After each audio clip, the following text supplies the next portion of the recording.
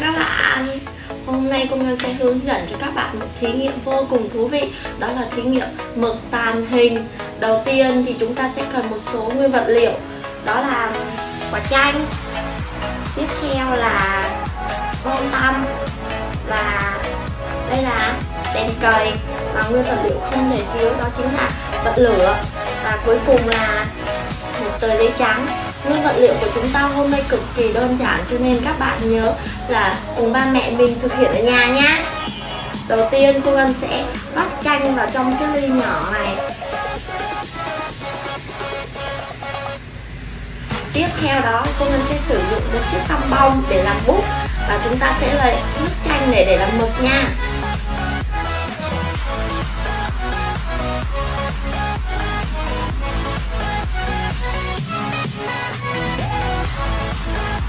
Sẽ vẽ một con mặt trời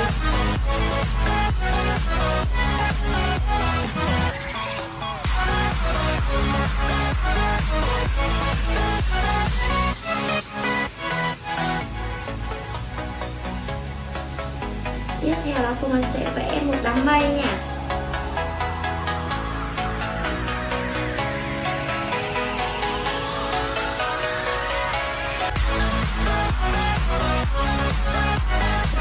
Bây giờ các bạn hãy nhìn xem bức tranh của cô mình các bạn có thấy gì không?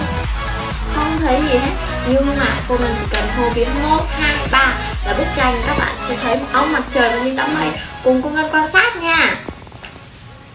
Đầu tiên, chúng ta sẽ dùng đèn cầy và bật lửa.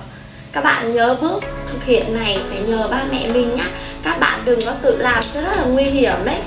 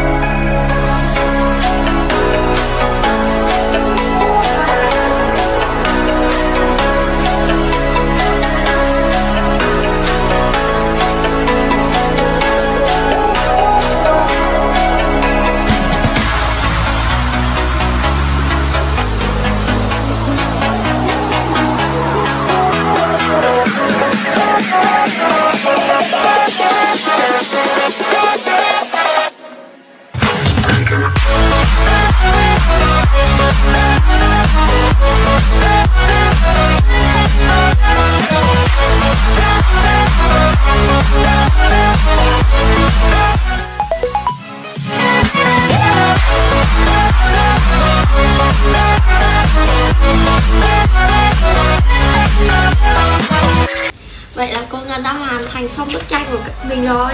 Bạn thấy có đẹp không? Bây giờ các bạn hãy cùng ba mẹ mình thực hiện ở nhà để có những bức tranh thật là đẹp nha. Xin chào và hẹn gặp lại.